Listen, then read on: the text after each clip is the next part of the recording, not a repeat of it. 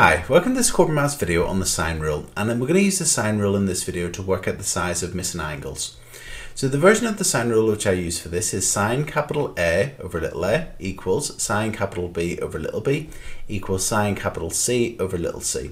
And what that's saying is the sine of the angle divided by the length of the side opposite it is equal to the sine of the next angle divided by the length of the side opposite it which is equal to the sine of the last angle divided by the length of the side opposite it.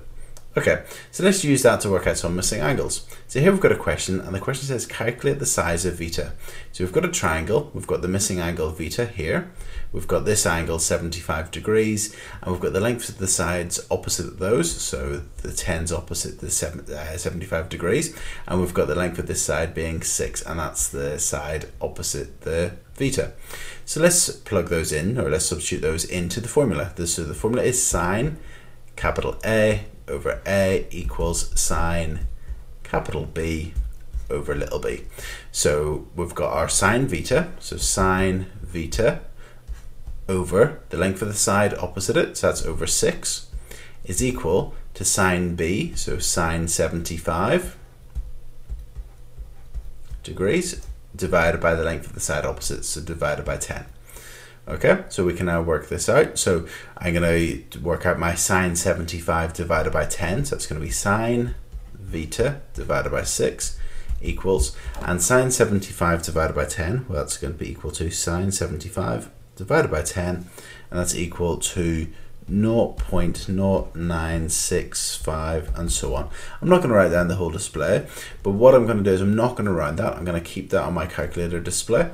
And now I don't want to know what sine theta over 6 is, so I'm going to multiply both sides of this equation by 6. So that's going to give me sine theta equals, and I'm going to times this by 6, so multiply by 6 gives me the answer of 0.57955 and so on.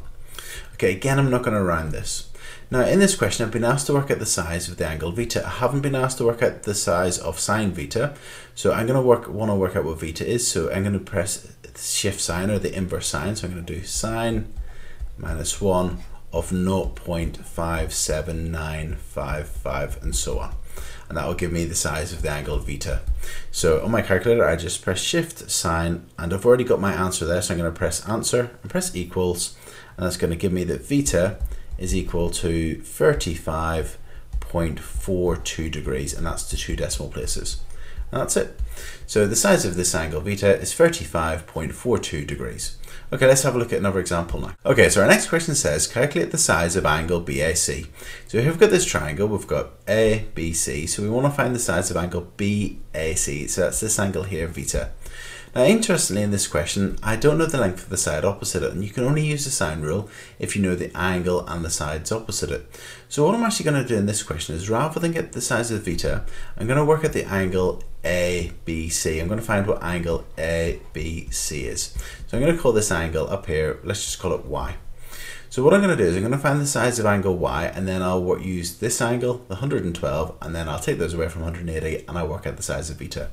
So let's write down what the sine rule is. So the sine rule is sine A over little a equals sine B over little b. So that's the angle and the side opposite it, the angle and the side opposite it. So we're going to be focusing on the y, so we want to find what that is. So we're going to write sine y over, and then it's the side opposite it, so that's over 23 equals, and then we know the, the 40 uh, centimeters and the 112 degrees, so we're going to use sine 112 over 40.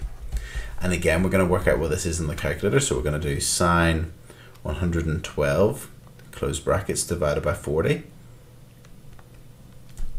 and that's equal to sine y over 23 and that's equal to 0.023179 and so on but I don't want to know what that is divided by 23 so I'm going to multiply both sides of this equation by 23 so that can be sine y equals and timesing by 23 is equal to 0.53313 so on. Again don't round any of these numbers and I don't want to know what the sine of y is I want to know what y is. So y equals the inverse sine or shift sine of 0.5331 and so on And that gives us, when we press shift, sine and answer, that gives us that y is equal to 32.217 so on degrees. But we don't want to know what y is, but let's actually label it there, 32.217 so on. We want to find the size of the angle beta, the angle BAC. So we're going to add these two angles together and we're going to take it away from 180. So 180 minus the sum of 32.217 so on plus 112 and that gives us, so let's add 112 to that number, let's take it away from 180 and that gives us the angle BAC, so this angle here, beta, is equal to 35.8 degrees to one decimal place. So that's it. So if you're using the sine rule to find the size of missing angles, I would recommend using this version of the formula. There is another video called the sine rule, the ambiguous case. Um, it, it might be worthwhile watching that video as well after this one. And that's it.